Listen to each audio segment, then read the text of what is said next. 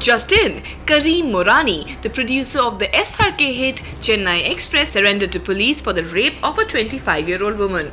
Police say enough evidence to nail him. In January 2017, a woman lodged a complaint with Hayat Nagar police alleging that Morani had lured her into a sexual relation by promising to marry her. She said she was raped repeatedly in Mumbai and also twice at the Ramoji Film City on the outskirts of Hyderabad between September and October 2015.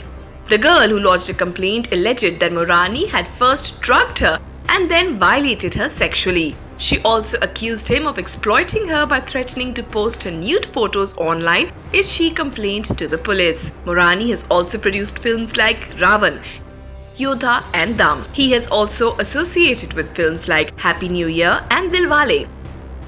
Morani is part of the trio behind Cineyug Entertainment, a Mumbai-based production and events company. Cineyug Films landed in rough waters when the CBI uncovered its links with Swan Telecom and Dynamix Realty, both involved in the 2G spectrum allocation scam.